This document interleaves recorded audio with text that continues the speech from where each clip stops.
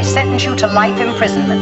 No! Will you help me? What are you planning? We're gonna get him out of there. This plan is brilliant.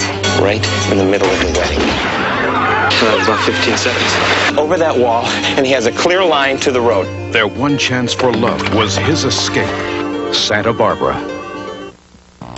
Channel 3 News at 11 is coming up next. The grocery talks have broken off. At midnight, the grocery workers' strike begins.